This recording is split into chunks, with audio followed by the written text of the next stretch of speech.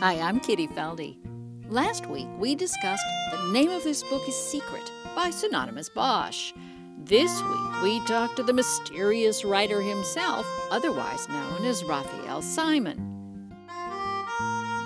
Well, you know, talk about the style of this book because the idea of inserting yourself as a writer sometimes really intimidates other writers. How did that come about?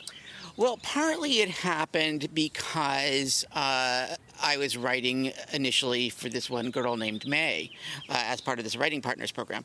So, in the same way that you would address a letter to a person and you'd write a letter in second person, um, I started writing the book that way. So that's really how how it began, um, and I found it uh, liberate just just as I found having a pseudonym sort of liberating. Um, I found writing uh, to a particular audience also uh, grease the wheels, so to speak. And it's actually something that I recommend to other writers and to kids and to kids and grown-ups alike uh, when they ask for writing advice is i often say to them try writing to a particular person real or imaginary and imagine that you're speaking to them and that I find really brings writing to life and it makes it a lot easier to write and makes it more fun.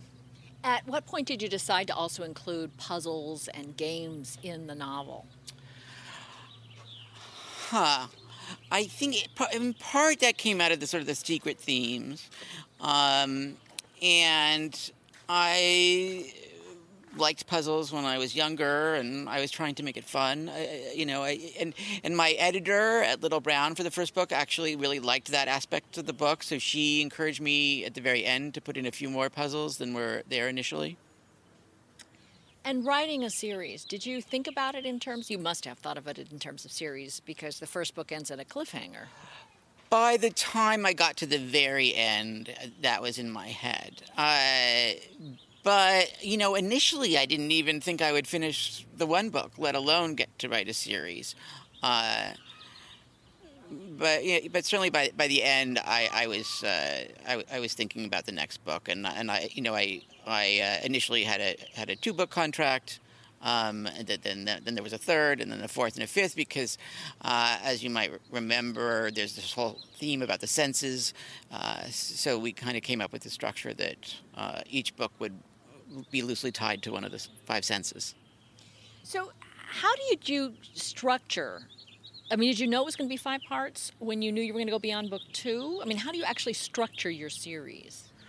Um, I think that really came about, I think, with the third book uh, when I, I kind of uh, realized I was going to, I wanted to do this this five senses uh, structure, and the third book, you know, is is uh, this book is not good for you, and it, it has this uh, mysterious chocolate in the book.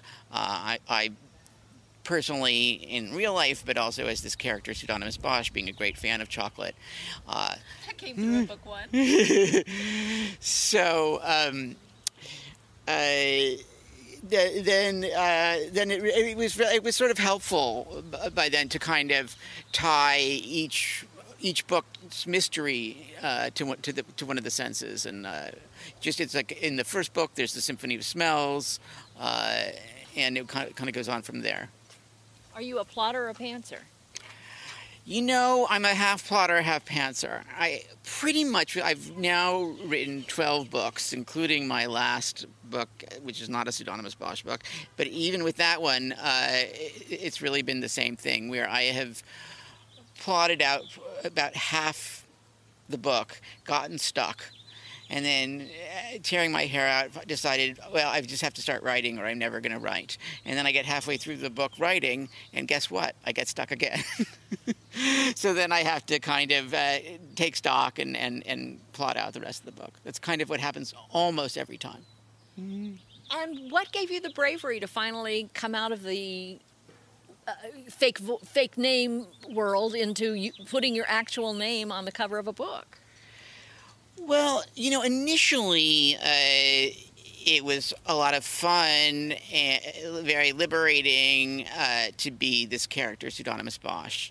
Uh, but gradually, uh, over the years, it's begin to begun to feel a little bit stifling. Uh, that I that I, I, I can't sort of just relax and be me. And has it's be, and, and there was one day in particular where I was on stage answering questions at Pseudonymous Bosch, and there was a question uh, asked of me. Uh, to talk about an embarrassing incident from my childhood, and the, the it was a fellow writer friend uh, named Adam Gidwitz asking me this question, and he wanted probably me to tell some sort of funny story that the kids could relate to, and what happened was that all I could think about was something uh, from seventh grade where uh, a girl I knew who had recently heard that one out of ten people were gay kept counting people around the schoolyard and getting to me when she got to gay and saying, or rather when she got to the number 10. Uh, and I, I, was stuck on this story and I realized how that I was feeling very closeted, you know, as pseudonymous Bosch. Uh, whereas in my real life, so to speak, I came out as a freshman in college. Um, you know, here I, I, you know, when I was interacting with uh, the public uh, and, and with kids all over the country, I was this other character who wasn't straight per se, but just was not forthcoming about my own personal life because that was the character to be secretive. But it, but it just felt like a, it, it, felt like somehow a step backwards for me, and I felt a certain responsibility as a as a gay author to be out of the closet about uh, my sexual orientation.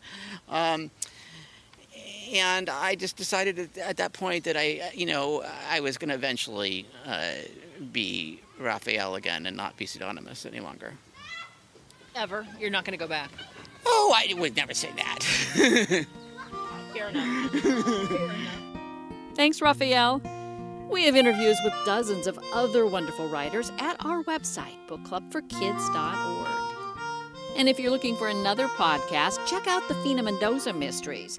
It's free and not only a good mystery story, but also the perfect introduction to civics education for elementary school students. There's curriculum at the website and a free teacher's guide that you can download. Check it out, thefinamendozamysteries.com.